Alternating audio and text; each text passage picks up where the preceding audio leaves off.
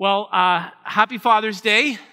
And uh, I hope that all of our dads are honored in some ways uh, today. When I think about my dad, I think about the influence he had uh, and he continues to have in my life. Uh, he has, you know, who I am today is really uh, a product of, of the people who I spent my most formative time with, including and most importantly, my parents and my dad. my dad taught me a whole lot. And if you knew my dad, you might actually be able to say, well, okay, now I understand a little more about you, right? I mean, we all, you know, the people in our lives who've, you know, had that kind of impact on us, they change us, they, they affect us, and they uh, have influence over us. But what we've been looking at over the last little while is that we've been realizing that we all have influence. In fact, Jesus said that if we've chosen to follow him, he calls us salt and light. He uses these incredible metaphors to remind us that we are to have influence where we are. It doesn't matter if you're in grade four or if you are in a, a retirement home, you all have an opportunity to have influence on the people that are around you.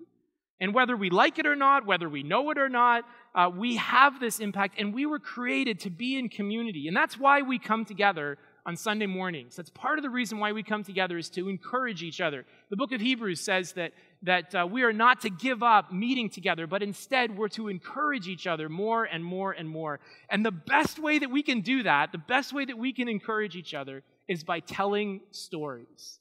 By telling our stories. And we hope as a church, as we move into this new year, that we're going to become even better storytellers letting you know the kinds of things that have been going on in our lives. And we've already heard some stories from Mark, we've heard uh, email from Wes, and we're going to hear some incredible stories as we uh, approach baptism and we witness these baptisms together, which is something that we're so excited about. And stories are powerful because we are a storytelling people. We love stories. And, and I think it's really simple. The reason we love stories is because stories help our lives make sense. Stories help our lives make sense. They put events in order and they give meaning to things. If you think about it, without a bigger story, our lives are just a collection of a whole bunch of different details, events, circumstances, things that happen in our life. But if I were to, you know, but what, we don't think that way, right? If I were to look back in my life, what I do is I start to, to, to kind of connect some of those stories. And we put them in an order so they start to tell something. They begin to have meaning and they provide meaning. But if I was going to tell you about, you know, how I met my wife, for instance, I would choose certain parts of my experiences to sort of shape together a story. If I was to tell you how I am, who I am, or, or who I am today, or how I became the person I am today, I would pick different stories and I would collect them together. You see, we are a storytelling people, and we use these stories to provide meaning and to provide a, a, kind of a context for our history and for the things that are going on. Stories help our lives make sense. And so, if you have your Bibles with you this morning, I want you to turn with me to Psalm 78. And we're going to look here just briefly this morning, and we're going to, I'm going to get out of the way, and we're going to hear some more incredible stories of God's activity as we uh, experience these baptisms together. But this book, I mean, this Bible is one big story from cover to cover. We have this incredible unfolding story of what God is doing in the world. And, and it helps us understand who God is, and it helps us understand who we are, and it helps us understand how we are to live in the world that God has us. And so, so this, this story, I mean, this is why we, we kind of skip through the, the lists in the Bible and we get kind of bored when we start looking through all of the different instructions that God gave to his people. And we start perking up when we hear the stories, don't we? But those stories all point to something bigger that's going on. I want to read to you from Psalm 78. This is the second largest psalm in, our, in the book, in the Bible. And um, starting in verse 1, here's what it says My people hear my teaching. Listen to the words of my mouth. I will open my mouth with a parable. In other words, he's going to tell a story that means something, so pay attention. He says, I will utter uh, hidden things, things from old things we have heard and known, things our ancestors have told us. We will not hide them from our descendants. We will tell the next generation the praiseworthy deeds of the Lord, his power, and the wonders he's done.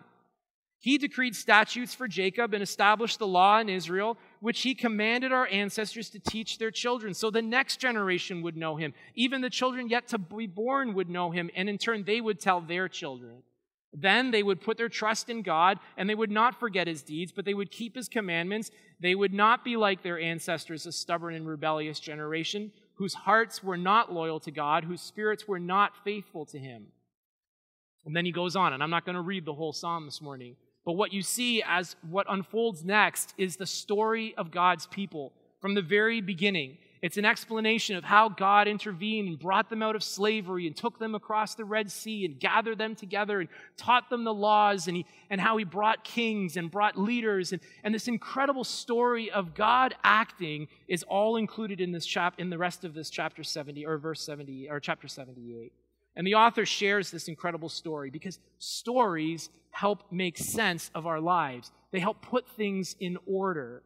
And you may be thinking this morning, you know, I'm in the middle of something and it's confusing, or maybe it's painful, or maybe it's hard, or whatever it is. But sometimes we're in the middle of it. It's hard for us to get some perspective and to see our way through.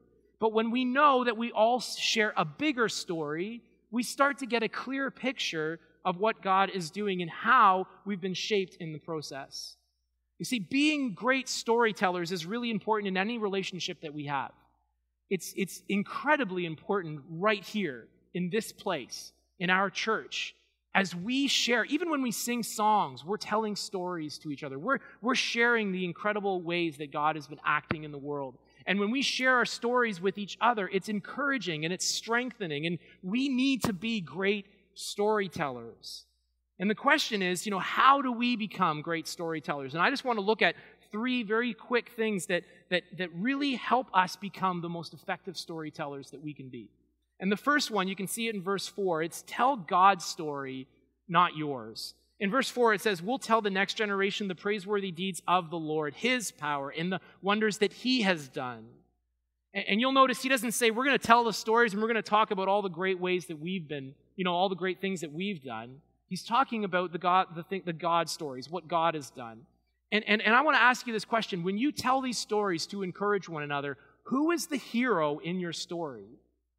You see, when, when our stories are all about us and personal, they are not as, as helpful or effective in terms of edifying the body and helping us grow. But when God's the hero of the story, we can all relate because we all plug into the same bigger story that's going on.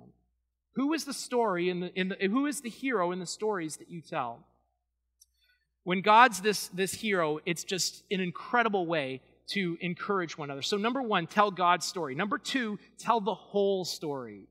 You see, leaving out the parts where we don't do so well or the hard parts really makes our stories less helpful. And I think we know this. If you see in verse 3, it says that we, we share the things that we have heard and known, things our ancestors have told us. We will not hide them from our descendants. We're going to tell them everything. There's no hiding. You see, when we, we learn the most when we're in some of those very difficult circumstances, don't we?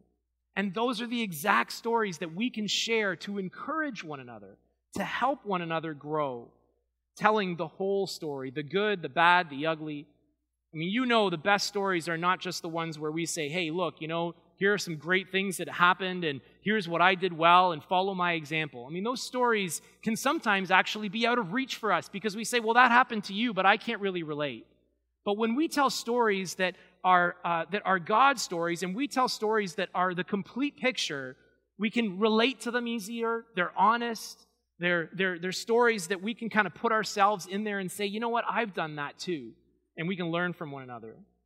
So we need to, uh, number one, tell God's story. Number two, tell the whole story. And number three, tell stories that benefit others. Ephesians 4.29 says that we are to use words to build each other up according to our needs. If you look down at verse 7, it says, um, actually, in, in, in, not just 7, but in, in, um, in 6 and 7, or 7 and 8, it says that, that they would put their trust in the Lord. This is the point of the story that they would not forget his deeds, that they would keep his commands, that they would not be like the ancestors who did things in a different way. So, all of these, um, uh, these sort of qualifiers are, are sort of the point.